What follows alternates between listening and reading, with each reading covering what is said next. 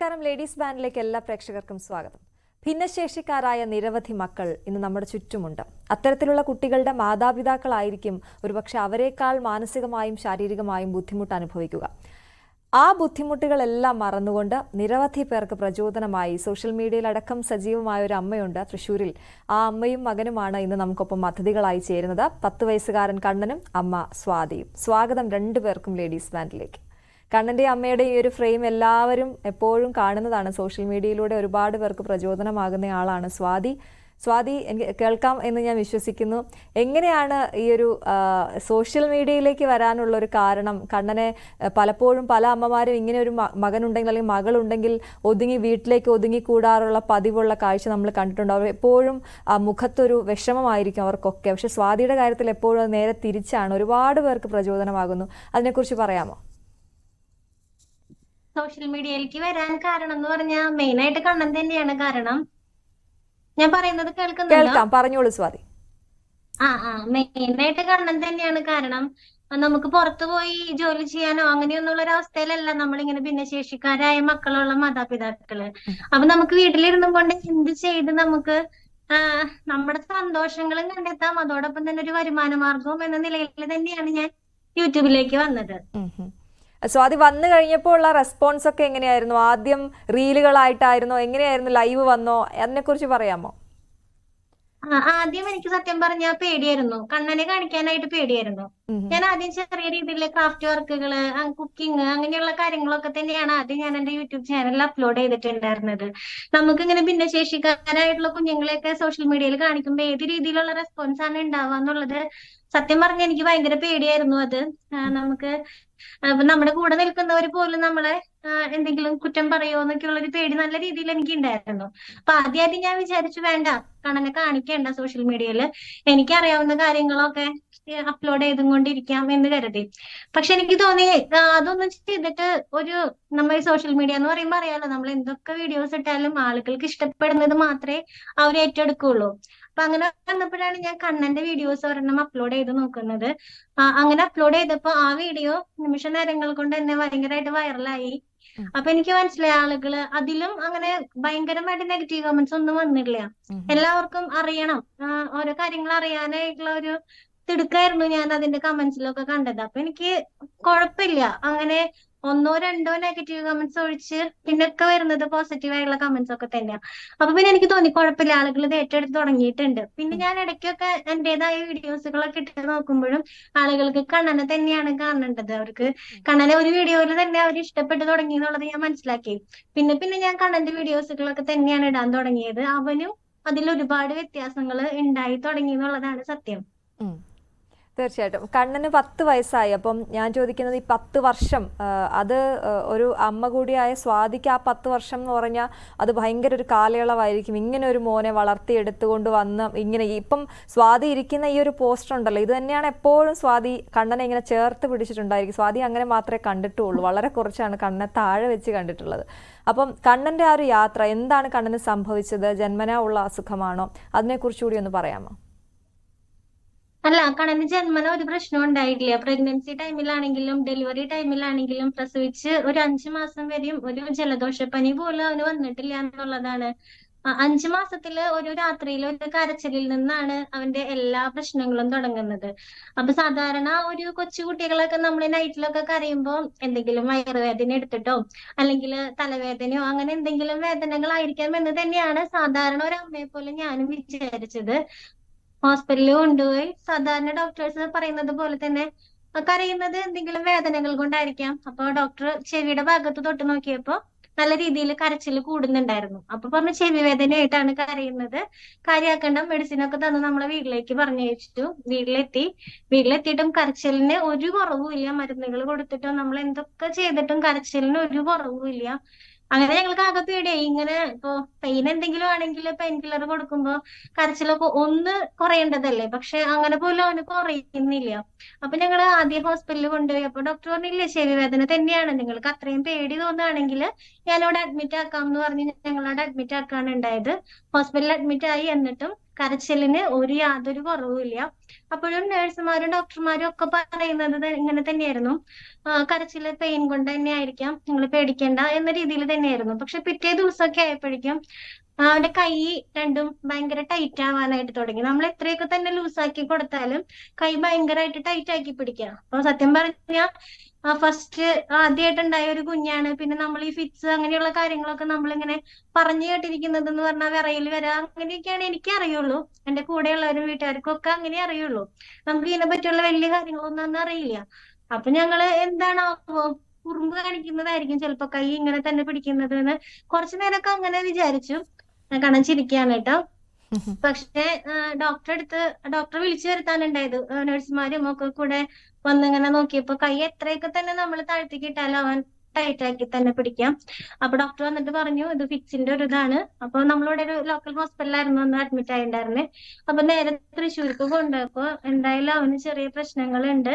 അപ്പൊ വലിയ ഹോസ്പിറ്റലിലേക്ക് കൊണ്ടുപോകണം എന്ന് പറഞ്ഞിട്ട് നമ്മൾ നേരെ ജൂബിലി മിഷൻ ഹോസ്പിറ്റലിലേക്ക് കൊണ്ടുപോകാണ് ഉണ്ടായിരുന്നെ അപ്പൊ അവിടെ ചെന്നപ്പോഴാണ് അവർ പറയുന്നത് ബ്രെയിന് എന്തോ വലിയൊരു ഡാമേജ് പറ്റിയിട്ടുണ്ട്. പക്ഷെ അത് എന്താന്ന് അറിയണമെങ്കിൽ ടെസ്റ്റുകൾ ചെയ്ത് നോക്കണം. അപ്പൊ തന്നെ സി ടി സ്കാൻ എടുത്തു. സി ടി സ്കാനിൽ ഒന്നും അങ്ങനെ അറിയാൻ പറ്റിയില്ല. എം ആർ ഐ എടുക്കണം എന്ന് പറഞ്ഞു. എം ആർ ഐ എടുക്കാൻ പറ്റിയ ഒരു കണ്ടീഷൻ ആയിരുന്നില്ല ചെറിയ രീതിയിൽ ഇങ്ങനെ ബോധമൊക്കെ മറഞ്ഞു പോകുന്നുണ്ടായിരുന്നു. അപ്പൊ ആ ഒരു സമയത്ത് എം ആർ ഐ എടുത്തു കഴിഞ്ഞാൽ എം ആർ ഐ എടുക്കണമെങ്കിൽ അനങ്ങാതെ കിടക്കാനായിട്ട് എന്തെങ്കിലും സെഡേഷൻ കൊടുക്കേണ്ടി വരും. ഈ ഒരു ബോധം മറഞ്ഞു പോകുന്ന അവസ്ഥയിൽ സെഡേഷനുള്ള എന്തെങ്കിലും കൊടുത്തു കഴിഞ്ഞാൽ പിന്നെ കുട്ടിയെ ഉണരുന്നതിനെ പറ്റി അവർക്ക് ഉറപ്പ് പറയാൻ പറ്റില്ലായിരുന്നു. അപ്പൊ അതുകൊണ്ട് തന്നെ കാരണം എന്തെന്നറിയാതെ ഒരു മൂന്നാൽ ദിവസം വെറുതെ ഐ സിയുവിൽ കിടത്തി. പക്ഷെ അങ്ങനെ കിടത്തിയിട്ടും കാര്യമില്ലല്ലോ. നമുക്ക് അസുഖം എന്താണെന്ന് കണ്ടുപിടിച്ചാൽ മാത്രമല്ലേ അതിന് നമുക്ക് മെഡിസിൻ കൊടുക്കാനായിട്ട് പറ്റുള്ളൂ. അങ്ങനെ ആ ഐ സിയുന്ന് അവർക്ക് എം ആർ ഐയുടെ അവിടേക്ക് കൊണ്ടുപോകാൻ വരെ പേടിയായിരുന്നു. കാരണം ബ്രെയിൻ എന്തോ ഡാമേജ് ഉണ്ട്. ബ്രെയിനിന്റെ ഡാമേജ് വന്ന ഒരാൾക്ക് എപ്പോ വേണമെങ്കിലും ഓക്സിജൻ ലെവലിൽ വേരിയേഷൻ വരാം. ഓക്സിജൻ ലെവൽ നമ്മളിപ്പോ അങ്ങോട്ട് കൊണ്ടുപോകുന്ന സമയത്താണ് ഓക്സിജൻ ലെവലിൽ വേരിയേഷൻ വന്ന് ഓക്സിജൻ ലെവൽ വളരെ താഴ്ന്നു പോവാണെങ്കിൽ ഉടനടി വെന്റിലേറ്ററിലോട്ട് മാറ്റണം. മോന് വേണ്ടിയിട്ട് ഒരു വെന്റിലേറ്റർ വരെ അവിടെ ഐ സിയുൽ അവർ മാറ്റിയിട്ടേക്കായിരുന്നു. അപ്പൊ പിന്നെ നമുക്ക് വേറൊരു ഓപ്ഷൻ ഇല്ല. എങ്ങനെയായാലും എം ആർ ഐ എടുത്ത് നോക്കിയുള്ളൂ രക്ഷ അപ്പൊ അങ്ങനെ എം ആർ ഐ എടുത്ത് നോക്കിയപ്പോഴാണ് അറിഞ്ഞത് ബ്രെയിനിൽ ഒരു വൈറൽ ഇൻഫെക്ഷൻ ആയിരുന്നു. വൈറൽ എൻസെഫലൈറ്റിസ് എന്ന് പറയും അസുഖത്തിനെ. അപ്പൊ അത് ആ ഒരു സമയത്തൊക്കെ വളരെ ചുരുക്കം ആളുകളിൽ മാത്രം കണ്ടുവരുന്ന ഒരു തരം രോഗമായിരുന്നു. ഈ വൈറൽ എൻസെഫലൈറ്റിസ് എന്ന് പറയുന്നത്. നമ്മുടെ ബ്രെയിനിൽ വരുന്ന പഴുപ്പിനെയൊക്കെ നമ്മൾ മെനിഞ്ചൈറ്റിസ് എന്ന് പറയും. അതൊക്കെ നമ്മൾ അതിലും കേട്ടിട്ടുള്ള ഒരു അസുഖമായിരുന്നു പക്ഷെ അതിൽ ബ്രെയിനിൽ വരുന്ന ഒരു വൈറൽ ഇൻഫെക്ഷൻ ഇപ്പോഴൊക്കെ സർവസാധാരണമായിട്ട് നമ്മൾ എല്ലാവരും കേൾക്കുന്നുണ്ട് വൈറൽ എൻസെഫലൈറ്റിസിനെ പറ്റിയിട്ട്. പക്ഷെ ആ സമയത്തൊക്കെ വളരെ ചുരുക്കമായിരുന്നു അപ്പൊ തന്നെ അവർ ഹെൽത്തിലേക്ക് ഒക്കെ ഇൻഫോം ചെയ്തു. നമ്മുടെ പരിസരമൊക്കെ ഒന്ന് ചെക്ക് ചെയ്യേണ്ടതൊക്കെ ആയിട്ട് വന്നു. ഈ രോഗാണുക്കൾ പകരുന്നത് പടരുന്നത് നെൽവയലുകളിൽ നിന്നൊക്കെയാണ്. അപ്പൊ നമ്മുടെ പരിസരമൊക്കെ ചെക്ക് ചെയ്യേണ്ടതായിട്ടുള്ള കാര്യങ്ങളൊക്കെ വന്നു. അപ്പൊ ഹെൽത്തിൽ നിന്നൊക്കെ ആളുകൾ വന്ന് നമ്മുടെ വീടും പരിസരവും ഒക്കെ നോക്കി. അപ്പൊ ഇത് നെൽവയലുകൾ എടുത്തിട്ടുണ്ടെങ്കിൽ നെൽവയലുകളിലാണ് ഈ ഒരു തരം വൈറസ് ഉണ്ടാവുക അപ്പൊ എന്റെ വീടാണെങ്കിൽ പാടത്തിന്റെ അടുത്തൊക്കെ ആയിരുന്നു. അപ്പൊ അവരതൊക്കെയാണ് റീസൺ പറയുന്നത്. ഇത് ഞാൻ പറയാൻ കാരണം എന്താന്ന് വെച്ച് കഴിഞ്ഞാൽ പലരും ചോദിക്കുന്നുണ്ട് ഇത് എങ്ങനെ വന്നു? അപ്പൊ ഞങ്ങൾക്കും ഇത് ഒരു തരം സംശയം തന്നെയായിരുന്നു. ഞങ്ങളും ഡോക്ടേഴ്സിന്റെ അടുത്തൊക്കെ ചോദിച്ചായിരുന്നു ഇത് എങ്ങനെയായിരിക്കും ഇതിപ്പോ ഇങ്ങനെ വന്നിട്ടുണ്ടാവുക? അപ്പൊ അവർ പറയുന്നത് കൊതുക് വഴിയോ അല്ലെങ്കിൽ നമ്മുടെ വീട്ടിൽ വളർത്തു മൃഗങ്ങൾ ഉണ്ടെങ്കിലോ അങ്ങനെയൊക്കെയാണ് ഈ ഒരു അസുഖം പകര പടരുക എന്നാണ് ഇവർ പറയുന്നത്. പക്ഷെ ഞാൻ വിശ്വസിക്കുന്നത് എന്താന്ന് വെച്ച് കഴിഞ്ഞാൽ അതൊക്കെ ഒരു കാരണം. നമ്മൾക്ക് വരാനിരിക്കുന്നു നമ്മളത് അനുഭവിക്കാനിരിക്കുന്നു. അത്രേ എനിക്ക് ഇന്ന് വരെ തോന്നിയിട്ടുള്ളൂ. ശരി സ്വാതി. സ്വാതി ഇതാണ് കണ്ണന് സംഭവിച്ചത്. ഇനി നമുക്ക് എന്താണ് കണ്ണിന് വേണ്ടി ചെയ്യാൻ കഴിയുക? നമ്മൾ എന്തെങ്കിലും ട്രീറ്റ്മെന്റ്സ് ചെയ്യുന്നുണ്ടോ? അപ്പൊ കണ്ണിന് ചേഞ്ച് ഈ മാനസികമായിട്ടുള്ള ചേഞ്ചുകൾ വരുന്നുണ്ട് എന്ന് പറഞ്ഞു. അപ്പൊ ഇപ്പൊ ചിരിക്കുന്നത് കണ്ടു കണ്ണൻ. അപ്പൊ എന്തൊക്കെയാണ് കണ്ണന് ഇനി ചെയ്യാൻ ചെയ്തു കൊടുക്കാൻ പറ്റുക നമുക്ക്? കണ്ണന് ചെയ്തു കൊടുക്കാൻ പറ്റുന്ന നമ്മൾ മെഡിക്കൽ സയൻസിന്റെ ഭാഗത്തുനിന്ന് ചെയ്യാനുള്ള എല്ലാ കാര്യങ്ങളും നമ്മൾ ചെയ്തു. ഫിറ്റ്സ് വരാതിരിക്കാനായിട്ട് മെഡിസിൻ പോകുന്നുണ്ട്. പിന്നെ അവന് ഭയങ്കര ടൈറ്റ്നെസ് ആണ്. ബോഡി മുഴുവൻ ഭയങ്കര ടൈറ്റ് ആണ്. അപ്പൊ അതിന് മെഡിസിൻ ന്യൂറോ മെഡിസിൻ പോകുന്നുണ്ട്. പിന്നെ നമുക്ക് മെഡിക്കൽ സയൻസിൽ പറയാനുള്ള ഒരേ ഒരു കാര്യം ട്രെയിനിങ്ങുകൾ കൊടുക്കുക physiotherapy speech therapy occupational therapy അങ്ങനെയുള്ള തെറാപ്പികൾ കൊടുക്കുക എന്നുള്ളത് മാത്രമാണ്. ഒരു ഏഴ് വർഷത്തോളം കണ്ടിന്യൂ ആയിട്ട് ഞാനത് ചെയ്തിരുന്നു. പക്ഷെ ഒരു നമ്മൾ ഒരു ഏഴ് വർഷമൊക്കെ ചെയ്യുമ്പോൾ എന്തെങ്കിലും ആദ്യം വേണ്ടതെന്ന് പറഞ്ഞു കഴിഞ്ഞാൽ അഞ്ചു മാസത്തിൽ ഇവന്റെ തലയൊക്കെ കുറച്ചിരുന്നു കമിഴ്ന്നു പോയിരുന്നു അതൊക്കെ ഇല്ലാതായി. അപ്പൊ നമ്മൾ ഇത്രയും ഒരു വർഷം ചെയ്യുമ്പോ ഒന്നുകിൽ തലയെങ്കിലും ഒന്ന് കൺട്രോൾ ചെയ്യേണ്ട ഒരു ഒരു ചെറിയ ഇമ്പ്രൂവ്മെന്റ് എങ്കിലും നമ്മൾ അതിൽ കാണണം. പക്ഷെ ഏഴു വർഷം ചെയ്തിട്ട് അങ്ങനെ ഇമ്പ്രൂവ്മെന്റ് കാണാണ്ടായപ്പോ എനിക്ക് മനസ്സിലായി അത് ചെയ്തിട്ട് കാര്യമില്ല എന്നുള്ളത്. പിന്നെ നമ്മൾ കുറെ ആയുർവേദ ട്രീറ്റ്മെന്റുകൾ ചെയ്തു അതുപോലെ ഓക്സിജൻ തെറാപ്പി ചെയ്തു. സത്യം പറഞ്ഞാൽ ചെയ്യാത്ത ട്രീറ്റ്മെന്റുകൾ ഒന്നും ഇല്ല എന്ന് തന്നെ വേണം പറയാനായിട്ട്. പിന്നെ എനിക്ക് മനസ്സിലായി നമ്മൾക്ക് ഇങ്ങനെ പനിയും ജലദോഷമൊക്കെ വരുന്നത് പോലെയുള്ള ഒരു അസുഖമല്ല. നമുക്ക് ബ്രെയിനിൽ വന്നിരിക്കുന്ന ഒരു ഡാമേജ് ആണ്. സി പി അവസ്ഥയിലാണ്. സെറിബ്രൽ പൾസി എന്ന് പറയുന്ന അവസ്ഥയിലാണ്. ഇത് നമ്മൾ അംഗീകരിക്കണം. പിന്നെ നമ്മളാണ് കൂടുതൽ നമ്മൾ അമ്മമാരാണ് ഇങ്ങനെയുള്ള കുഞ്ഞുങ്ങളുടെ ഡോക്ടർമാരും ടീച്ചർമാരും ഒക്കെ ആവേണ്ടത്. അപ്പൊ മോനെ ഇപ്പൊ ഒരുപാട് മെന്റൽ ഇമ്പ്രൂവ്മെന്റ് ഉണ്ട്. അതിന്റെ ഏറ്റവും വലിയ കാരണം എന്ന് പറഞ്ഞാൽ എവിടെയും ഞാൻ അവനെ മാറ്റി നിർത്താറില്ല. അവനോട് ഇങ്ങനെ സംസാരിച്ചുകൊണ്ടിരിക്കും. വർത്താനങ്ങൾ എപ്പോഴും ചോദിച്ചുകൊണ്ടിരിക്കും. ഇപ്പൊ തന്നെ ഞാൻ വർത്താനം പറയുന്നതൊക്കെ അവന് മനസ്സിലാവുന്നുണ്ട്. അപ്പൊ ഇപ്പൊ നമ്മ ഒരു ട്രീറ്റ്മെന്റ് ചെയ്യുന്നുണ്ട്. ഒരു ഞരമ്പിന്റെ ഒക്കെ ട്രീറ്റ്മെന്റ് ചെയ്യുന്നുണ്ട്. അതിലും അധികം വലിയ. അപ്പൊ അതുകൊണ്ട് ആ ഒരു ട്രീറ്റ്മെന്റ് തുടർന്നു പോകുന്നു. അതെ. ഞാനപ്പം ഈ പ്രേക്ഷകരോട് എങ്ങനെ സ്വാതിയെ പരിചയപ്പെടുത്തും ഒരുപാട് പേർക്ക് പരിചയം ഉണ്ട്. എങ്കിലും പരിചയമില്ലാത്തവരൊക്കെ എങ്ങനെ സ്വാതിയെ പരിചയപ്പെടുത്തും എന്ത് പറഞ്ഞ് പരിചയപ്പെടുത്തും നോക്കുമ്പോൾ കണ്ണന്റെ അമ്മ എന്ന് പറഞ്ഞാൽ ചിലർക്ക് മനസ്സിലാകില്ല. അപ്പോൾ ഞാനതുകൊണ്ട് സോഷ്യൽ മീഡിയ ഇൻഫ്ലുവൻസർ എന്ന് തന്നെ പരിചയപ്പെടുത്താമെന്ന് വിചാരിച്ചു. കാരണം നിങ്ങളൊക്കെയാണ് ശരിക്കും അക്ഷരാർത്ഥത്തിൽ ആ പേര് അങ്ങനെ തന്നെ പറയേണ്ടത്. കാരണം ഒരുപാട് പേർക്ക് സ്വാതി നേരത്തെ പറഞ്ഞു കമന്റുകളിലൂടെയൊക്കെ ഒരുപാട് പോസിറ്റീവായിട്ടുള്ള കമന്റുകൾ വരുന്നുണ്ട്. കണ്ണനെ തിരക്കിയുള്ള കമന്റുകൾ വരുന്നുണ്ട്. ഞാൻ കമന്റുകളിലൂടെ ഒന്ന് പോയപ്പോൾ എനിക്ക് മനസ്സിലായത് ഇതുപോലെയുള്ള കുഞ്ഞുങ്ങളുടെ അമ്മമാർ ഒരുപാട് പേര് കമന്റ് ചെയ്യുന്നുണ്ട് എന്നുള്ളതാണ് അല്ലേ? അപ്പോൾ അത് വലിയ സന്തോഷം തരുന്ന കാര്യമല്ലേ സ്വാതി? അതെ അതെ. ആ അതെ. അങ്ങനെയുള്ള അമ്മമാർക്കൊക്കെ പലരും എന്റെ അടുത്ത് വന്ന് പറയാറുണ്ട്. ആ ചേച്ചി എനിക്കും ഇങ്ങനെ ചാനലൊക്കെ തുടങ്ങണം എന്നൊരു ആഗ്രഹമുണ്ട് പക്ഷെ നാട്ടുകാരും വീട്ടുകാരും എന്ത് പറയുമെന്ന് പേടിച്ചിട്ടാണ് ഞാനിത് ചെയ്യാതിരിക്കുന്നത്. കുറെ അമ്മമാർക്ക് ഭിന്നശേഷിക്കാരെയുള്ള അമ്മമാർക്ക് പല ആഗ്രഹങ്ങളും ഉള്ളവരുണ്ട്. പക്ഷെ എല്ലാവരും സമൂഹത്തിൽ അവരെ എന്തോ മാറ്റി നിർത്തിയേക്കാണ്. ഇവർക്കൊന്നും ഇവരിപ്പോ ഇപ്പൊ നമ്മളൊരു നല്ല ഡ്രസ്സ് ഇട്ട് നടന്നാൽ പോലും ചിലപ്പോ സമൂഹത്തിലോ കൊച്ചിന് വയ്യ. എന്നിട്ടും അമ്മയുടെ നടപ്പും കാര്യങ്ങളൊക്കെ അങ്ങനത്തെ ഒരു ചിന്താഗതി നമ്മുടെ സമൂഹത്തിലുണ്ട്. അതുകൊണ്ട് തന്നെയാണ് എല്ലാ അമ്മമാരും പേടിക്കുന്നത്. അപ്പൊ അങ്ങനെ കുറെ കുറെ കമന്റ്സ് ഒക്കെ വരുമ്പോ സത്യം പറഞ്ഞാൽ എനിക്ക് വിഷമം തോന്നാറുണ്ട്. കാരണം ഞാനും ഈ ഒരു അവസ്ഥയെ കൂടെ കടന്നു വന്നതാണ്. എനിക്കും പേടിയായിരുന്നു. ഞാനിങ്ങനെ കണ്ണന്റെ വീഡിയോ ഇടുമ്പോ ആ, ചിലവരൊക്കെ ഞാനിങ്ങനെ വിചാരിക്കും. എന്റെ വീട്ടുകാരാണെങ്കിലും വിചാരിക്കാം എന്തിനാ ഇപ്പൊ ഇത് കൊച്ചിനെ ഇങ്ങനെ കാണിക്കുന്നതെന്നൊക്കെ ഞാനും വിചാരിച്ചിട്ടുണ്ട്. അപ്പൊ അത് ആരും കുറ്റം പറയാൻ പറ്റില്ല. എല്ലാവരുടെയും ഒരു നമ്മുടെ സമൂഹത്തിന്റെ ഒരു തോന്നൽ അങ്ങനെയാണ്. അപ്പൊ അതിൽ എല്ലാവരും ഭയപ്പെടുന്നതിലൊന്നും ഒരു തെറ്റും എനിക്ക് പറയാൻ പറ്റില്ല. പക്ഷെ നമ്മൾ എന്താ പറയാ അങ്ങനെ പേടിച്ചിരുന്ന് കഴിഞ്ഞു കഴിഞ്ഞാൽ നമ്മൾക്ക് ഒന്നും ആവാൻ പറ്റില്ല എന്നാണ് എനിക്കിപ്പോ ഓരോ അമ്മമാരെ അടുത്തും പറയാനുള്ളത്. അതെ. സ്വാതി അതുപോലെ തന്നെയാണ് ഇങ്ങനെ ഒരു ഇങ്ങനെ മക്കളുണ്ടാകുമ്പോൾ നമ്മൾ നമ്മുടേതായിട്ടുള്ള കുറേ കാര്യങ്ങൾ വേണ്ടാന്ന് വെക്കും.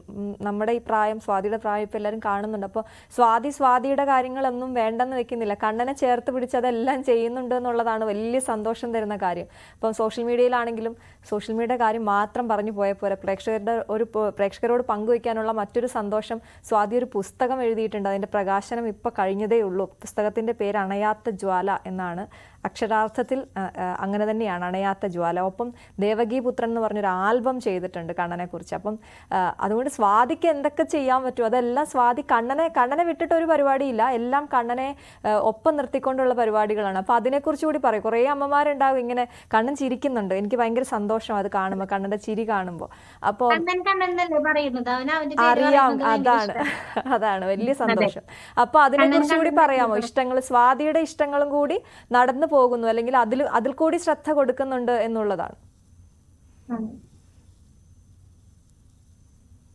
അവന് വീഡിയോസ് ഒക്കെ എടുക്കാന്ന് പറഞ്ഞാൽ തന്നെ ഭയങ്കര ഇഷ്ടം. നമ്മൾ വീഡിയോസ് ഒക്കെ എടുക്കുമ്പോഴേ ഭയങ്കര ഈ വീഡിയോസ് എടുക്കുന്നതിലൂടെ അവന് ഇമ്പ്രൂവ്മെന്റ്സ് വന്നിട്ടുണ്ട്. ആദ്യമൊക്കെ എന്ന് പറഞ്ഞാൽ നമ്മ ആദ്യത്തെ പഴയ വീഡിയോസുകളൊക്കെ എടുത്ത് നോക്കിയാൽ അറിയാം. ഞാൻ ഇങ്ങനെ ഇരുന്ന് സംസാരിക്കുന്നു. കണ്ണൻ എവിടേക്കെങ്കിലും നോക്കിയിരിക്കുന്നുണ്ടാവും അപ്പൊ തന്നെ നമുക്ക് അവനെ കണ്ടു കഴിഞ്ഞാൽ ശരിക്കും ഒരു വയ്യാത്ത ഒരു കുഞ്ഞാണെന്ന് ഒറ്റ നോട്ടത്തിൽ നമുക്ക് മനസ്സിലാവും. പക്ഷെ ഇപ്പൊ നിങ്ങളൊന്ന് നോക്കി നോക്കി അവൻ ഞാൻ സംസാരിക്കുമ്പോ ഞാൻ സീരിയസ് ആയിട്ട് സംസാരിക്കുകയാണെങ്കിൽ ആ ഒരു ഭാവം അവന്റെ മുഖത്തുണ്ടാവാം. ഞാനിങ്ങനെ ചിരിച്ചും കൊണ്ട് അല്ലെങ്കിൽ കണ്ണാ കണ്ണാന്നൊക്കെ വിളിച്ചും കൊണ്ട് സംസാരിക്കുകയാണെങ്കിൽ അതുപോലെ അവൻ ചിരിച്ചും കൊണ്ട് ഇരിക്കുന്നുണ്ടാവാം. പിന്നെ നമ്മളിങ്ങനെ എന്താ പറയാ വീഡിയോയിലേക്ക് സ്വാഗതം ഒക്കെ പറയുന്ന സമയത്ത് ഞാൻ അവനെ കൊണ്ട് എന്നെ ഒന്ന് കൈ പൊക്ക് കണ്ണ. കണ്ണനെ ഒന്ന് കൈ പൊക്കിയിട്ടാണ് നമുക്ക് സ്വാഗതം പറയേണ്ടത്. കണ്ണന് കൈ പൂപ്പാനൊന്നും അറിയില്ലല്ലോ. അപ്പൊ അതുകൊണ്ട് കണ്ണനൊന്ന് കൈ പൊക്ക്. കൈ ഒന്ന് ഉയർത്തിപ്പിടിക്കുന്നൊക്കെ ഞാൻ അപ്പൊ ഞാൻ അവനെ ഇങ്ങനെ എന്താ പറയാ പറഞ്ഞുകൊണ്ടിരിക്കും. കുറെ അമ്മമാര് കുറെ ആന്റിമാര് ഇത് കാണുന്നുണ്ട്. കണ്ണൻ കൈ പൊക്കി കഴിഞ്ഞാലുണ്ടല്ലോ. അവരൊക്കെ പറയും കണ്ണൻ മിടുക്കനാന്ന്. അപ്പൊ അങ്ങനെയൊക്കെ അവനെ പ്രോത്സാഹിപ്പിച്ചും കൊണ്ടേ ആയിരിക്കും ഓരോ കാര്യങ്ങൾ ചെയ്യാം പിന്നെ വീഡിയോസിൽ നമ്മൾ ഫ്രണ്ട് ക്യാമറ ഒക്കെ വെച്ച് എടുക്കുകയാണെങ്കിൽ അവൻ തന്നെ കാണുകയാണ്. ഇപ്പൊ ഞാൻ കൈ പൊക്കി കഴിഞ്ഞാൽ എനിക്ക് അതിൽ കാണാം. ഞാൻ കൈ പൊക്കുന്നത്. അപ്പൊ അങ്ങനെയുള്ള കാര്യങ്ങളിലൂടെയൊക്കെ അവന് വീഡിയോസ് എടുക്കുന്നത് പോലും അവനിപ്പോ കൈ പൊക്കാൻ ശ്രമിച്ചുകൊണ്ടിരിക്കുകയാണ് കേട്ടോ. ഞാനിപ്പോ ഇത് പറഞ്ഞപ്പോ ഒന്ന് കൈ പൊക്കി കാണിച്ചു കൊടുത്തേ കണ്ണാ. ഏ കണ്ണാ.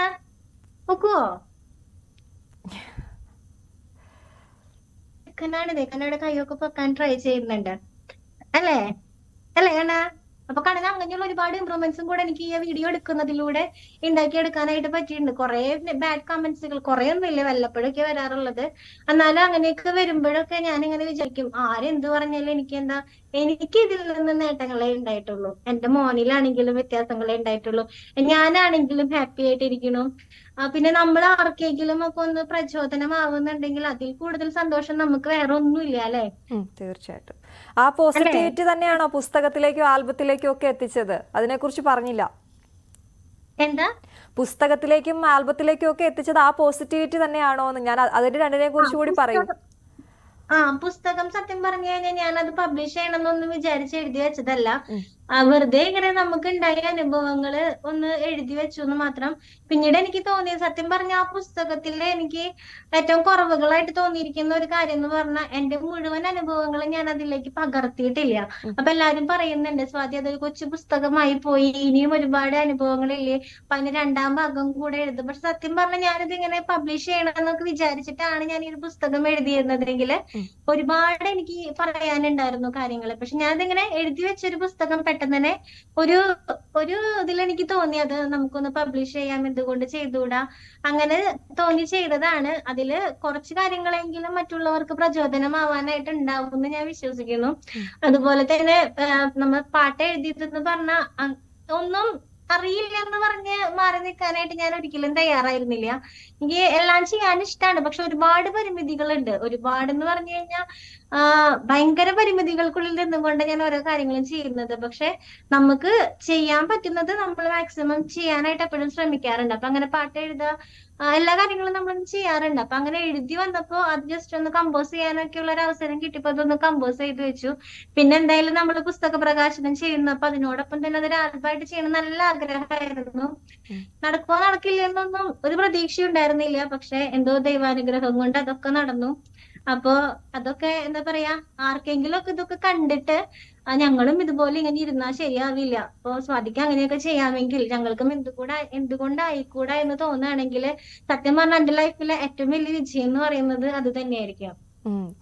അതുപോലെയാണ് സ്വാതിയുടെ യാത്രകൾ. ഞാനിങ്ങനെ വിചാരിക്കാറുണ്ട് കണ്ണനെയും കൊണ്ട് യാത്രകൾ പോകുന്ന വീഡിയോസ് കാണുമ്പോൾ നമ്മൾ എന്തെങ്കിലുമൊക്കെ മുട്ടാപ്പോക്ക് ന്യായം പറഞ്ഞ് പല യാത്രകളും ഒഴിവാക്കും. അത് ബുദ്ധിമുട്ടാണ് ഇത് ബുദ്ധിമുട്ടാണ് കുഞ്ഞ് ചെറുതാണ് നടക്കില്ല അല്ലെങ്കിൽ എപ്പോഴും എടുത്തുകൊണ്ട് നടക്കണം എന്നൊക്കെ പറഞ്ഞ് നമ്മളത് ഒഴിവാക്കും. പക്ഷേ സ്വാതി യാത്രകൾ ചെയ്യുന്നുണ്ട് കണ്ണനെയും കൊണ്ടാണ് പോകുന്നത്. അപ്പം അതിനെക്കുറിച്ചുകൂടി പറയാമോ? അപ്പം ഫാമിലി സപ്പോർട്ടും ഞാനും കേട്ടിട്ടുണ്ട് ഒരുപാട് പേര്. ചിലപ്പോ ഒരു കുഴപ്പമില്ലാത്ത കുട്ടികളായിരിക്കും. ഒരു ആറുമാസോ ഒരു വയസ്സൊക്കെ പ്രായമുള്ള കൊച്ചുങ്ങളായിരിക്കും. അപ്പൊ അവരെയും കൊണ്ടുവരാൻ നമ്മൾ എങ്ങനെയെങ്കിലും ഒക്കെ ഒന്ന് പോവാന്ന് പറയുമ്പോ പല അമ്മമാരും ഞാൻ പറയുന്നത് കേട്ടിട്ടുണ്ട്. അയ്യോ ഉണ്ണി ഭയങ്കര വാശിയാ കൊണ്ടുപോകാൻ പറ്റില്ല. അല്ലെങ്കിൽ എപ്പോഴും എടുത്തുകൊണ്ട് നടക്കേണ്ടത് നടക്കാറൊക്കെ ആവട്ടെ. എന്നിട്ടൊക്കെ നമുക്ക് യാത്ര പോവാമെന്ന് പല സാധാരണ അമ്മമാരും പറയുന്നത് ഞാൻ കേട്ടിട്ടുണ്ട്. പക്ഷെ എന്നെ സംബന്ധിച്ചെന്ന് പറഞ്ഞാൽ കണ്ണന് യാത്രകളൊക്കെ ഭയങ്കര ഇഷ്ടമാണ് എപ്പോഴും ഈ നാല് ചുവരുകൾക്കുള്ളിൽ നിൽക്കാന്നുള്ളത് നമ്മൾക്ക് തന്നെ പറ്റില്ല അല്ലെ? രണ്ടു ഒരാഴ്ചയൊക്കെ നമ്മളിങ്ങനെ വീട്ടിൽ തന്നെ നിന്ന് ഒന്ന് പുറത്തേക്ക് ഒന്ന് ഇറങ്ങാണ്ട് നിൽക്കുമ്പോൾ നമുക്ക് തന്നെ ഭയങ്കര ഒരു ബുദ്ധിമുട്ട് തോന്നും. ഓ ഒന്ന് പുറം ലോകം കണ്ടിട്ട് എത്ര ദിവസമായി ഒന്നില്ലെങ്കിൽ ഒന്ന് ടൗൺ വരെയെങ്കിലും ഒന്ന് പോവാന്ന് നമുക്ക് തോന്നാറുണ്ട്. അപ്പോ എല്ലാവരും എല്ലാവരുടെയും ആഗ്രഹം കണ്ണന് ഇന്നല്ലെങ്കിൽ നാളെ നടക്കണം അവൻ അവന്റേതായ കാര്യങ്ങൾ ചെയ്യണം. ഞാനും ഒരുപാട് ആഗ്രഹിക്കുന്നതും പ്രാർത്ഥിക്കുന്നതും അതൊക്കെ തന്നെയാണ്. പക്ഷെ നമുക്കറിയില്ല ഭാവിയിൽ ഈശ്വരൻ നമുക്ക് എന്താ വെച്ചിരിക്കുന്നത് നമുക്കറിയില്ല. അപ്പൊ ഇപ്പൊ എനിക്ക് ഇവനെ എടുത്തുകൊണ്ട് എവിടേക്കും കൊണ്ടുപോകാൻ പറ്റുന്ന ആൾക്ക് പ്രായത്തിന്റെതായ വലിപ്പമില്ല. അപ്പൊ എനിക്കിപ്പോ എവിടേക്ക് വേണമെങ്കിലും മോനെ എടുത്തു കൊണ്ടുപോകാനായിട്ട് പറ്റുന്ന ഒരവസ്ഥ എനിക്ക് ഇപ്പൊ ഉണ്ട്. പക്ഷെ മോൻ നാളെ വലിയ കുട്ടിയൊക്കെ ആയി നമുക്ക് എടുത്തു കൊണ്ടുപോകാൻ പറ്റാത്ത ഒരവസ്ഥയൊക്കെ വരുമ്പോ എല്ലാവരുടെയും പോലെ എനിക്കും ചിലപ്പോ വീടിന്റെ ഉള്ളിൽ ഒതുങ്ങി കൂടേണ്ടതായിട്ട് വരും. നമുക്ക് കൊണ്ടുപോയില്ല എന്നല്ല പറയുന്നത്. അപ്പൊ അതും ഇങ്ങനെ എപ്പോഴും യാത്രകളൊക്കെ ചിലപ്പോ നമുക്ക് നടന്നു വരില്ല. അപ്പൊ ഇപ്പൊ പറ്റുന്ന സമയങ്ങളിൽ നമുക്ക് നാളെ എന്തോ ആയിക്കോട്ടെ. ഒരു പക്ഷെ കണ്ണ് നടക്കും ഒരു പക്ഷെ നടന്നില്ലായിരിക്കാം എന്തോ ആയിക്കോട്ടെ. പക്ഷെ ഈ ഒരു സമയം നമുക്ക് നാളെ തിരിച്ചു കിട്ടില്ല. അപ്പൊ ഇപ്പൊ അവർ നമുക്ക് ഏതൊക്കെ രീതിയിൽ സന്തോഷം കൊടുക്കാൻ പറ്റുന്നോ അത് മാക്സിമം കൊടുക്കാന്നുള്ളത് മാത്രമേ ഉള്ളൂ. എന്റെ മുന്നിലുള്ള ഏറ്റവും വലിയ ലക്ഷ്യം എന്ന് പറയുന്നത്. സ്വാതി കണ്ണൻ എന്ന് കേൾക്കുമ്പോൾ കണ്ണൻ ചിരിക്കുന്നുണ്ട്. സ്വാതിയുടെ ശബ്ദത്തിലുള്ള മാറ്റങ്ങൾ കേൾക്കുമ്പോൾ അവനിലും ആ മാറ്റങ്ങൾ നമുക്ക് കാണാൻ പറ്റുന്നുണ്ട്. ചില സെലിബ്രിറ്റീസിന്റെ കൂടെയൊക്കെ കണ്ണനെ അവരെടുത്തിട്ടുള്ള വീഡിയോസ് ഒക്കെ ഞാൻ കണ്ടിരുന്നു. അപ്പോൾ ആരെങ്കിലുമൊക്കെ അങ്ങനെ കണ്ണനെ സ്വാധീനിക്കുന്നുണ്ടോ? കണ്ണനെ ഈ വീഡിയോസ് ഒക്കെ കാണിക്കുമ്പോഴും അതുപോലെ ഫോണിൽ നിന്നുള്ള ശബ്ദം ടി വിയിൽ നിന്നുള്ള ശബ്ദം അങ്ങനെ ആരുടെയെങ്കിലുമൊക്കെ ശബ്ദം ഇഷ്ടമാണോ? അതിനോട് റെസ്പോണ്ട് ചെയ്യുന്നുണ്ടോ? അതിനെക്കുറിച്ച് പറയാമോ? ആ അവന് സിനിമയൊക്കെ കാണാന്ന് പറഞ്ഞാൽ ഭയങ്കര ഇഷ്ടാ. ടിവിയിലേക്ക് നോക്കി ഇങ്ങനെ സിനിമകൾ അതിപ്പോ ആൾ ആളുടെ ഒരു പത്ത് വയസ്സെന്നുള്ളതിന്റെ ഒരു മെച്ചൂരിറ്റി ഒക്കെ ആൾ ആ കാര്യത്തിൽ കാണിക്കുന്നുണ്ടെന്ന് തോന്നുന്നു. ഇപ്പൊ മോൾക്കാണെങ്കിൽ അഞ്ചു വയസ്സ് ആൾക്കാണെങ്കിൽ എപ്പോഴും കാർട്ടൂൺ ചാനലുകളോടാണ് താല്പര്യം. പക്ഷെ മോൻ ഇപ്പോഴും അതൊക്കെ കടന്നിട്ട് ആൾ സിനിമയിലേക്ക് ഒന്ന് കടന്നിട്ടുണ്ട്. ആൾക്ക് സിനിമയൊക്കെ കാണാന്ന് പറഞ്ഞ ഭയങ്കര ഇഷ്ടാ. ആൾ ഈ മോഹൻലാലിന്റെ മറ്റേ പുലിമുരുകൻ അതുപോലെ പുലിമുരുകനൊക്കെ കേട്ടപ്പോ ചിരി ഉണ്ടല്ലോ അവിടെ. പുലിമുരുകനൊക്കെ ഭയങ്കര ഇഷ്ടാ. പുലിമുരുകനൊക്കെ കണ്ടു കഴിഞ്ഞാൽ ചാനൽ മാറ്റാൻ പാടില്ല. പരസ്യം വരാൻ പാടില്ല. ചിലപ്പോ ഞാൻ അടുക്കളയിൽ എന്തെങ്കിലും ജോലി ചെയ്തോണ്ടിരിക്കുമ്പോ പുലിമുരുകൻ മൂവി ഇട്ട് കൊടുത്തു കഴിഞ്ഞാൽ ആൾ കുറച്ച് കഴിയുമ്പോ എന്തെങ്കിലും ഒരു ഒച്ചയോ ബഹളോ ഒക്കെ ഉണ്ടാക്കുന്ന കേട്ടാ എനിക്കറിയാം. അതിൽ എന്തെങ്കിലും പരസ്യം വന്നു. അല്ലെങ്കിൽ വല്ല കറണ്ട് പോവുക അല്ലെങ്കിൽ കല്യാണി ചാനൽ മാറ്റി എന്തെങ്കിലും ചെയ്തിട്ടുണ്ട് അവിടെ? അപ്പൊ അപ്പൊ ആളാകെ പ്രശ്നം അയാളുടെ ഇടയും. ആകെ അതുപോലെ തന്നെയാണ് നന്ദന അതെനിക്കറിയില്ല. പുലിമുരുകനിൽ നമുക്ക് നടന്നതൊക്കെ കുട്ടികളെ സംബന്ധിച്ച് ചിലപ്പോൾ ഇഷ്ടമുണ്ടായിരിക്കും. പക്ഷെ നന്ദന മൂവിക്ക് എന്തുകൊണ്ടാണ് അവർ ഇഷ്ടം എന്ന് എനിക്കറിയില്ല.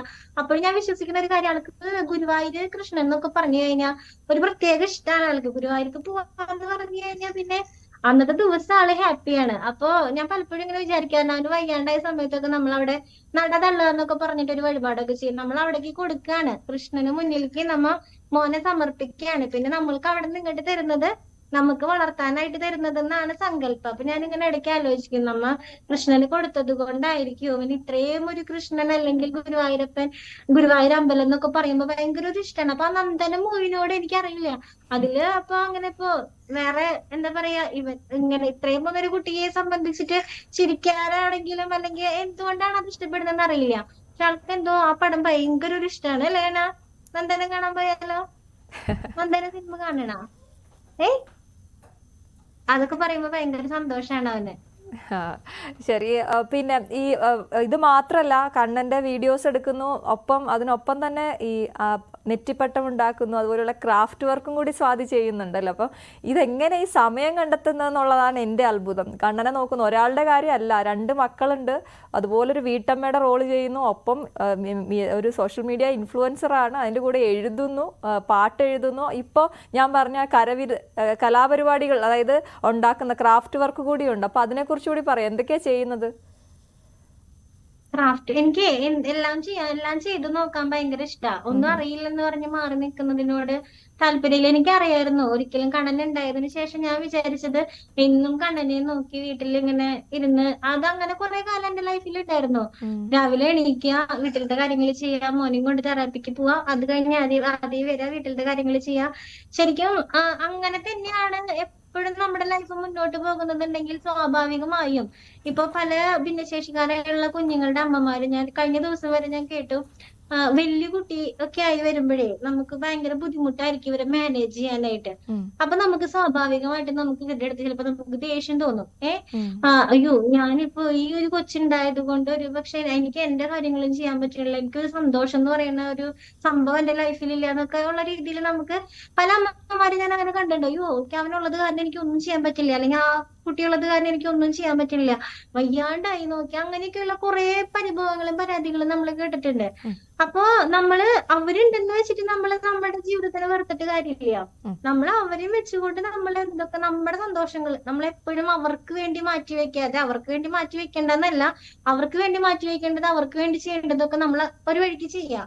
അതിന്റെ ഇടയിൽ കൂടെ തന്നെ നമ്മുടെ സന്തോഷങ്ങളും കൂടെ നമ്മൾ കണ്ടെത്താൻ നോക്കുക അല്ലാന്നുണ്ടെങ്കിൽ നമ്മൾ ഇവരെ ഇവരുടെ കാര്യങ്ങൾ മാത്രം നോക്കി നടക്കുമ്പോൾ ഒരുപക്ഷെ നമ്മൾക്ക് നമ്മുടെ ലൈഫിനോട് നമുക്ക് മടുപ്പ് തോന്നും. അപ്പൊ ആ- മടുപ്പ് തോന്നാതിരിക്കാനാണ് നമ്മൾ അതിന്റെ ഇടയിൽ കൂടെ തന്നെ നമ്മുടെ സന്തോഷങ്ങളും കൂടെ കണ്ടെത്തണം എന്ന് പറയുന്നത്. അപ്പൊ നമുക്ക് എന്താ? നമ്മളും ഹാപ്പി നമ്മൾ നമ്മൾ ഹാപ്പി ആയിരിക്കുന്നതോടൊപ്പം തന്നെ നമ്മൾ അവരെ നോക്കുന്നു. അപ്പൊ അവരും ഹാപ്പി നമുക്ക് വലിയ പ്രശ്നങ്ങളൊന്നും ഇല്ലാണ്ട് നമുക്ക് മുന്നോട്ട് പോകാനായിട്ട് പറ്റും.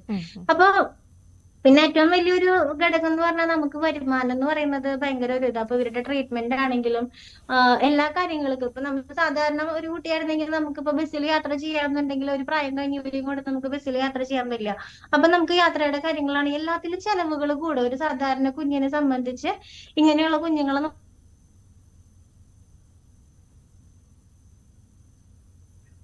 അതാണ്. ആഗ്രഹമായിരുന്നു. പക്ഷെ അത് എനിക്ക് മനസ്സിലായി. അപ്പൊ അങ്ങനെയാണ് ഞാൻ ആദ്യം തന്നെ തുടങ്ങിയത്. കേക്ക് ഉണ്ടാക്കി. അത് നമ്മുടെ ലോക്ക്ഡൌൺ സമയത്തൊക്കെ എല്ലാവരും വീട്ടിൽ കേക്ക് മേക്കിംഗ് ചെയ്ത് സെയിൽ ചെയ്തിരുന്നു. അപ്പൊ ആദ്യം തന്നെ ഞാൻ കേക്കിന്റെ ആയിരുന്നു തുടങ്ങിയത്. നല്ല രീതിയിൽ തന്നെ സക്സസ് ആയിട്ട് പോയിരുന്നു. ഒരുപാട് ഓർഡറുകൾ എനിക്ക് കിട്ടിയിട്ടുണ്ട്. പക്ഷെ അതിനിടയിൽ മോളും കൂടെ വന്നപ്പോ ഈ പറഞ്ഞതുപോലെ തന്നെ നമ്മൾ ഒരാളാണ്. ഈ ഒരാൾ എന്തൊക്കെ ചെയ്യും?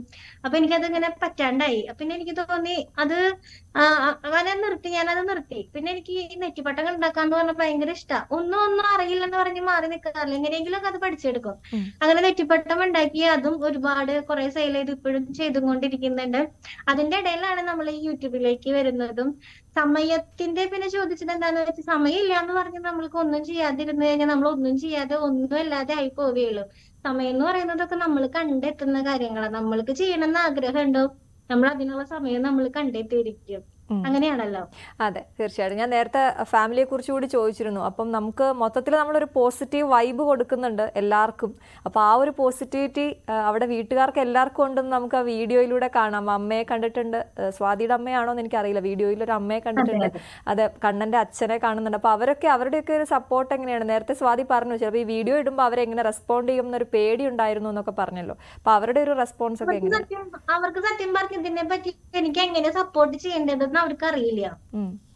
ആ അവർക്ക് അവർക്ക് അറിയില്ല ഞാൻ അവർ ഏത് രീതിയിലാണ് എനിക്ക് സപ്പോർട്ട് ചെയ്യേണ്ടതെന്ന്. പിന്നെ എന്ന് പറഞ്ഞാൽ എനിക്കും ഈ പറഞ്ഞതുപോലെ വീഡിയോയിലൊക്കെ വരിക. നമ്മുടെ ഒരു വീഡിയോയിൽ മുഖം കാണിക്കുക. ഇതൊക്കെ ഭയങ്കര പേടിയും അല്ലെങ്കിൽ ഒരു നാണക്കേടും ചമ്മലൊക്കെ ഉള്ള ഒരു സാധാരണ നമ്മ നാട്ടിൻപുറത്തുകാരിയുള്ള ഒരു പെൺകുട്ടി തന്നെയായിരുന്നു ഞാൻ. അപ്പൊ ആ ലെവലിലാണ് അവർ ഇപ്പോഴും നിൽക്കുന്നത് അപ്പൊ ഞാൻ ഇടയ്ക്ക് പറയും വീഡിയോയിൽ ഒന്ന് വാ. ചില വീഡിയോസ് ഒക്കെ ഞാൻ അവരറിയാതെ പോലും എടുക്കുന്ന വീഡിയോസ് ഉണ്ട്. അപ്പൊ അവർക്ക് അവർ മനസ്സുകൊണ്ട് എനിക്ക് എല്ലാം കൊണ്ട് സപ്പോർട്ടാണ് പക്ഷെ എങ്ങനെയാ അവർക്ക് എന്നെ സപ്പോർട്ട് ചെയ്യേണ്ടതെന്ന് അറിയില്ല. ഞാൻ എന്ത് കാര്യം പറഞ്ഞാലും അവർ ആരും എന്നോട് നോ പറയാറില്ല. അപ്പൊ അത് തന്നെയാണല്ലോ ഏറ്റവും വലിയ സപ്പോർട്ട് എന്ന് പറയുന്നത്. അതെ അതെ. ഇംപ്രൂവ്മെന്റിന്റെ കാര്യം പറഞ്ഞപ്പോൾ കണ്ണൻ ആദ്യം ട്യൂബിലൂടെ ആയിരുന്നു ആഹാരം കൊടുത്തുകൊണ്ടിരുന്നത് അപ്പോൾ ആ ട്യൂബും കൊണ്ട് പലയിടത്തും പോകുമ്പോൾ ഈ ട്യൂബ് ഒന്ന് മാറ്റി കിട്ടിയാൽ മതിയായിരുന്നു എന്റെ കുഞ്ഞിന് എന്ന് വിചാരിച്ചിട്ടുണ്ട് എന്ന് പറഞ്ഞു. അപ്പോൾ അതെപ്പോഴാണ് മാറ്റാൻ കഴിഞ്ഞ? കണ്ണൻ ആഹാരം സ്വന്തമായിട്ട് അതായത് നമ്മൾ വാ വായിലൂടെ ആഹാരം കഴിച്ചു തുടങ്ങിയത് എപ്പോഴായിരുന്നു? ആ സ്റ്റേജിനെ കുറിച്ചൊക്കെ ഒന്ന് പറയാമോ? ആ ഞാൻ പറഞ്ഞല്ലോ ഈ ലോക്കൽ ഹോസ്പിറ്റലിൽ അഡ്മിറ്റ് ആയ സമയത്ത് തന്നെ നമ്മൾ അവന് ആറു മാസം വരെ മുലപ്പാൽ മാത്രം കൊടുത്താൽ മതി എന്ന് വിചാരിച്ചിട്ട് വേറെ ഫുഡുകളൊന്നും കൊടുത്തു തുടങ്ങിയിട്ടുണ്ടായിരുന്നില്ല.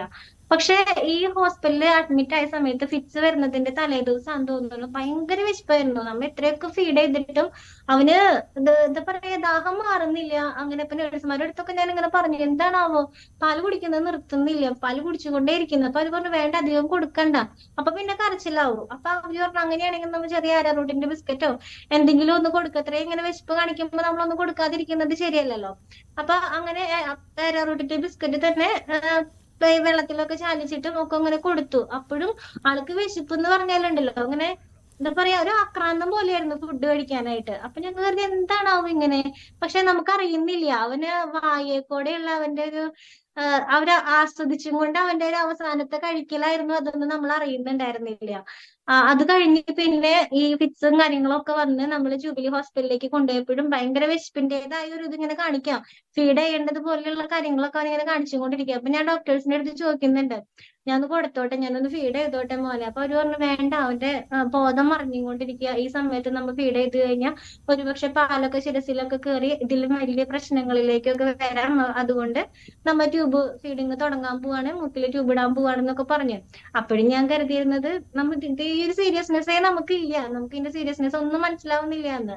പിന്നീട് പിന്നീട് ഓരോ ദിവസങ്ങൾ കഴിയുന്തോറാണ് നമ്മൾ ഇത് ഇത്രയും വലിയൊരു അസുഖമായിരുന്നു അല്ലെങ്കിൽ ഇത്രയും വലിയൊരു കാര്യമായിരുന്നു എന്ന് മനസ്സിലാക്കുന്നത് അപ്പോഴും ഞാൻ കരുതിയത് ആ ട്യൂബ് ഇട്ട് ചിലപ്പോ നാളത്തേക്കൊക്കെ അത് അഴിക്കുമായിരിക്കാം അങ്ങനെയൊക്കെ കരുതി. പക്ഷെ മാസം ഒരു മാസോ ഒന്നര മാസം ഒക്കെ ആയിട്ടും ഇത് മൂക്കിൽ തന്നെ എങ്ങനെയായിരുന്നു പാലൊക്കെ നമ്മ ട്യൂബിൽ കൂടെ ആയിരുന്നു കൊടുത്തുകൊണ്ടിരുന്നത്. സത്യം പറഞ്ഞ എനിക്ക് കൊതിയായിട്ടുണ്ട്. നമ്മൾ ഐ സിയിൽ മുന്നിലൊക്കെ ചില സാധാരണ പനിയും ജലദോഷം ഒക്കെ ആയിട്ട് അഡ്മിറ്റ് ആയിട്ടുള്ള കുട്ടികളെയും കൊണ്ട് അമ്മമാരൊക്കെ ആ സ്റ്റെയർ കേസിലൊക്കെ ഇരുന്നിട്ട് നമ്മ കുട്ടികളെ കൊണ്ട് ഫുഡ് കഴിപ്പിക്കാനുള്ള ഒരു അമ്മമാരുടെ ഒരു സൂത്രപ്പണികളൊക്കെ ഉണ്ടല്ലോ. പുറകെ നടക്കുക കൊഞ്ചിക്കുക കൊടുക്കുക ഒക്കത്ത് കൊണ്ടുവന്ന് നടന്ന് കുറുക്കുക. അതൊക്കെ ഞാനോട് സത്യം പറഞ്ഞാൽ കൊതിച്ചു പോയിട്ടുണ്ട്. എനിക്ക് നമുക്ക് ആദ്യമായിട്ടുണ്ടായ ഒരു കുഞ്ഞാണ്. അത് അവനൊന്നും ഇങ്ങനെ നമുക്ക് കൊടുക്കാൻ പറ്റാതെ ട്യൂബ് ഫീഡിങ് ആയിട്ട് ഐ സിയുൽ കിടക്കുന്നു. അവരൊക്കെ ഇങ്ങനെ കുട്ടികളെയും കൊണ്ട് നടന്ന് ഇങ്ങനെ കൊടുക്കും ഞാൻ വിചാരിച്ചിട്ടുണ്ട് എനിക്ക് എന്ന് ഇങ്ങനെ എന്റെ മോന് കൊടുക്കാൻ പറ്റും. അവൻ എന്ന് ഇനി വായക്കൂടെ ഫുഡ് കഴിച്ചു തുടങ്ങുന്നൊക്കെ ഞാൻ ഒരുപാട് ആഗ്രഹിച്ചു പോയിട്ടുണ്ട്. അപ്പൊ ആ സമയത്ത് നമ്മൾ മൂക്കിന് ട്യൂബൊക്കെ ആയിട്ടപ്പോ വേറെ ഡിപ്പാർട്ട്മെന്റിലേക്ക് തന്നെ ഇപ്പൊ ഫിസിയോതെറാപ്പിക്കൊക്കെ അവിടെ നിന്ന് ഇങ്ങനെ കൊണ്ടുപോകുമ്പോഴും എല്ലാവരും ഇങ്ങനെ എന്തോ കൊച്ചിട്ട് ഇങ്ങനെ നോക്കുമ്പോ എന്തോ ഒരു അത്ഭുത ജീവിയെ നോക്കുന്നത് പോലെയൊക്കെയാണ് മൂക്കിൽ ട്യൂബൊക്കെ ഇട്ടിട്ടല്ലേ കാണുന്നത്. പക്ഷെ ഇപ്പോഴെനിക്ക് തോന്നുന്നു കുറെ കുട്ടികളെ നമ്മൾ അങ്ങനെ കാണുന്നുണ്ട്. ഫുഡൊക്കെ കഴിച്ചിട്ട് ചെറുസിലൊക്കെ കയറുക അങ്ങനെയുള്ള പ്രശ്നങ്ങളുള്ള ഭിന്നശേഷിക്കാരായുള്ള കുഞ്ഞുങ്ങൾക്കൊക്കെ സ്ഥിരമായിട്ട് ട്യൂബ് ഇട്ട് ഫുഡ് കൊടുക്കുന്നതൊക്കെ ഇപ്പൊ നമ്മൾ കാണുന്നുണ്ട്. പക്ഷെ ആ സമയത്തൊക്കെ ഭയങ്കര ഒരു അപൂർവമായ കാര്യം പോലെയാണ് ആളുകൾ മൂക്കിൽ ട്യൂബ് ഇട്ട കുഞ്ഞിനെയൊക്കെ നോക്കിയിരുന്നത്. അപ്പൊ ഒരുപാട് വിഷമം തോന്നിയിട്ടുണ്ട്. പിന്നീട് അവൻ ഇവിടെ ഹോസ്പിറ്റൽ അവർ ഡോക്ടേഴ്സ് പറഞ്ഞു ഈ ട്യൂബായിട്ട് നമ്മളുടെ അടുത്ത് വീട്ടിലേക്ക് പൊക്കോളാനാ പറഞ്ഞത്. പക്ഷെ നമുക്ക് അതിനുള്ള ധൈര്യം ഉണ്ടായിരുന്നില്ല. കാരണം അങ്ങനെ നമ്മൾ വീട്ടിലേക്ക് പോയിട്ടുണ്ടെങ്കിൽ വീട്ടിലുള്ള എല്ലാ ആളുകളെക്കാളും അതിന്റെ ഒരു ഉത്തരവാദിത്തം എനിക്കാണ്. ഫുഡ് അത് അതിൽ കൂടെ ഫുഡ് പാലൊക്കെ ആണെങ്കിലും കൊടുക്കാന്നുള്ളത്. ഈ ട്യൂബൊക്കെ പൊസിഷൻ മാറി ഇരുന്ന് ലെൻസിലോട്ടോ എന്തെങ്കിലും ഒക്കെ പാലൊക്കെ പോയി കഴിഞ്ഞു കഴിഞ്ഞാൽ അത് അതിലും വലിയ പ്രശ്നം. അപ്പൊ അതിനുള്ള ധൈര്യമൊന്നും എനിക്ക് അന്നില്ല. എന്ന് പറയുമ്പോൾ ഇരുപത് വയസ്സ് മാത്രമേ എനിക്ക് പ്രായമുള്ളൂ. ഞാൻ പറഞ്ഞില്ല ട്യൂബും കൊണ്ട് വീട്ടിലോട്ട് പോകാൻ പറ്റില്ല. നിങ്ങൾ എങ്ങനെയാണെങ്കിലും ഇവിടെ ഞങ്ങൾ അഡ്മിറ്റ് ആവുക തന്നെ ചെയ്യുമെന്ന് പറഞ്ഞു. പക്ഷെ അവർക്ക് അവന് വേറെ ഒന്നും അവിടെ ചെയ്യാനില്ല. ട്രീറ്റ്മെന്റുകളും കാര്യങ്ങളും ഈ വന്ന ഇൻഫെക്ഷന്റെതായുള്ള ആന്റിബയോട്ടിക്സും കാര്യങ്ങളും ഒക്കെ കഴിഞ്ഞു. പിന്നെ അവർക്ക് അവിടെ നമ്മൾ നിർത്തേണ്ടതായിട്ടുള്ള ആവശ്യമില്ല. അവർ പറഞ്ഞു ഇല്ല നിങ്ങൾ എന്തായാലും വീട്ടിലേക്ക് പോക്കോ. ഈ ഒരു ഫുഡ് കൊടുക്കാൻ വേണ്ടി നമുക്ക് ഇവിടെ അഡ്മിറ്റ് ആക്കാൻ പറ്റില്ല എന്ന് പറഞ്ഞപ്പോഴാണ് നമ്മളുടെ അടുത്തുള്ള വേറെ ഹോസ്പിറ്റലിൽ വന്നിട്ട് ഈ പാൽ കൊടുക്കുന്ന ഫീഡ് ചെയ്യേണ്ട ഈ ഒരു ആവശ്യത്തിന് വേണ്ടി മാത്രം അവിടെ അഡ്മിറ്റ് ആവാനുണ്ടായിരുന്നു വേറെ ട്രീറ്റ്മെന്റുകൾക്ക് കാര്യങ്ങൾക്കും ഒന്നുമല്ല ഈ പാൽ കൊടുക്കാന്നുള്ളത് നമുക്ക് അത്ര അത്യാവശ്യമായിട്ടുള്ള കാര്യമാണല്ലോ. അപ്പൊ അങ്ങനെ അവിടെ വന്ന് അഡ്മിറ്റ് ആയി. അത് കഴിഞ്ഞ് ആദ്യ ജൂബിലിയിലോട്ട് ചെന്ന് അപ്പോഴാണ് ചെറിയ രീതിയിൽ നമ്മുടെ കോകർണൊക്കെ വെച്ചിട്ട് പാൽ കൊടുത്ത്. നോക്കിയപ്പോ ശരി, സ്വാതി ചെറുതായിട്ടൊക്കെ അവനൊന്ന് സ്വാതി ഇ- കേട്ടോണ്ടിരിക്കണം എന്ന് എനിക്കുണ്ട്. പക്ഷെ നമ്മുടെ സമയം ഇവിടെ അവസാനിക്കുകയാണ്. ഈ ഒരുപാട് സംസാരിച്ചപ്പോൾ തന്നെ ഒരുപാട് പോസിറ്റീവ് ആയിട്ടുള്ള കാര്യങ്ങൾ എനിക്ക് തോന്നുന്നു. ഇത് ഇപ്പൊ നമ്മുടെ ചാനലിലൂടെ കണ്ടുകൊണ്ടിരിക്കുന്ന ആളുകൾക്കും അത് ആ ഒരു പോസിറ്റിവിറ്റി കിട്ടിക്കാണും എന്നുള്ളതാണ്. അപ്പോൾ സ്വാതി ഒരുപാട് പേർക്ക് പ്രചോദനമാണ്. ഇനിയും ഒരുപാട് വീഡിയോസ് ഇടുക. എഴുത്ത് നിർത്തരുത് എഴുതണം. എല്ലാ സ്വാതിയുടെ ഇഷ്ടങ്ങളെല്ലാം നടക്കട്ടെ. അപ്പം കണ്ണന്റെയും. സ്വാതിയുടെ ഇഷ്ടങ്ങൾ നടക്കുമ്പോൾ സ്വാഭാവികമായും കണ്ണനും അതിനൊപ്പം ഉണ്ടെന്നറിയാം ഞങ്ങൾക്ക് അതിഥിയായി എത്തിയതിന് നന്ദി. കണ്ണൻ ചിരിക്കുന്നുണ്ട്. അപ്പോൾ കണ്ണൻ താങ്ക് യു പറയുന്നതാണെന്ന് ഞാൻ മനസ്സിലാക്കുന്നു. അപ്പോൾ എന്തായാലും താങ്ക് യു സോ മച്ച് കേട്ടോ? അമ്മയ്ക്കും മോനും. Thank you thank you ladies ban പൂർണമാവുകയാണ് മറ്റൊരു അതിഥിയുമായി. വീണ്ടും കാണാം. നമസ്കാരം.